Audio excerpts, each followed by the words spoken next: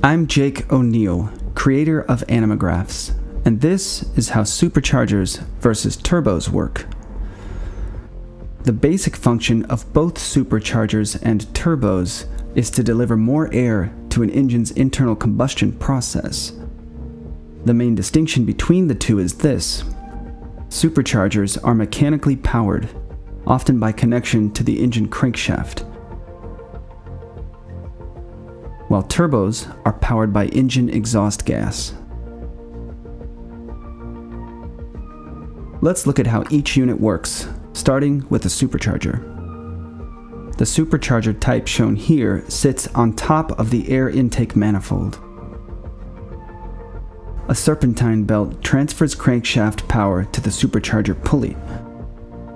Pulley diameter and construction is an easily accessible way to quickly alter supercharger performance characteristics. A gear drive system delivers incoming power to opposing rotors. Outside air enters through the air filter and intake pipe. Interlocking rotors force air through the supercharger. The long fins or ridges that span the length of the rotor shaft are called lobes. Air exits the supercharger through a specially shaped discharge port at the bottom of the housing. Here are a few common supercharger types. Roots. The Roots type supercharger saw its first automobile application in 1900. The term blower or blown engine originates from the Roots supercharger's basic function as an air blower, as opposed to other designs that compress air. Twin screw. Twin screw type superchargers feature complex rotors with intricately designed lobes that compress air as it moves through the unit. This increased complexity results in better performance, but also higher manufacturing cost. Centrifugal. Centrifugal superchargers have much in common with the turbo design concept, though they are still mechanically driven. They produce an exponential power curve and are often tuned to make full boost at engine redline.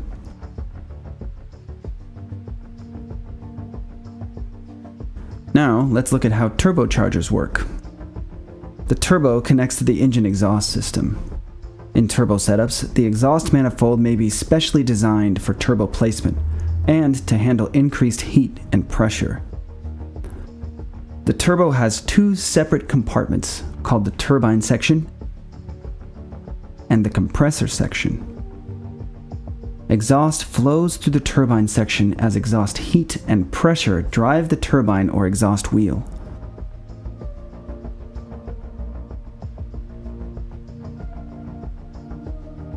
A sealed shaft connects the exhaust wheel to the compressor wheel. The compressor wheel pulls air in through the air filter and intake pipe. Its specially shaped fins force air through an increasingly smaller chamber, building compression. Air gets hot during intake and compression, so most turbo setups have an intercooler between the turbo and engine intake to get air back down to ambient temperatures.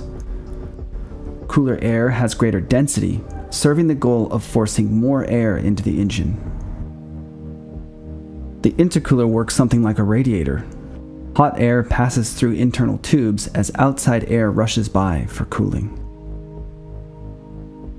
Here are some common turbo designs the single turbo, shown here, where all exhaust flows through a single turbocharger. Twin turbo, a setup with two turbochargers, for example on a six cylinder engine with one turbo for each cylinder bank. Twin scroll turbo.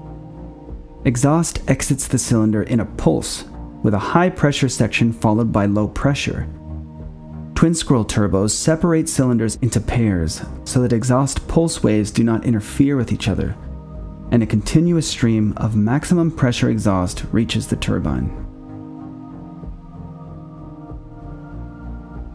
Now, let's compare superchargers and turbos in very general terms. Again, superchargers are powered by mechanical energy, for example, by connection to an engine's crankshaft while turbos are powered by otherwise wasted heat energy from engine exhaust. Boost characteristics. Roots and twin screw superchargers have positive displacement, meaning that they move the same amount of air for each engine revolution, regardless of RPM. This also means that they can make boost immediately, even at very low RPMs, and have a fairly linear power curve. Turbo setups produce an exponential power curve. Since they are powered by exhaust, turbos take time to build turbine speed and pressure before producing usable boost. This delay is called turbo lag. Efficiency. Superchargers take power to make power, and an average setup can require 40 to 60 horsepower to function. This doesn't mean that overall engine efficiency is always sacrificed, as some setups can increase fuel economy when not driven aggressively. Though turbos do increase back pressure on the engine, they derive power primarily from otherwise wasted exhaust heat as opposed to exhaust flow pressure. As such, they can be very efficient. In conclusion, superchargers can be a less complex, less expensive way to increase engine performance. They're usually easier to tune and maintain. They can be ideal in applications that require predictable boost at all RPMs. Turbos might require more peripheral parts like oil and vacuum lines, an intercooler, custom exhaust manifolds and exhaust piping, and so on. Turbos can require more skill to properly configure. However, a well-tuned turbo system may be able to produce boost more efficiently and in greater quantity than a supercharger.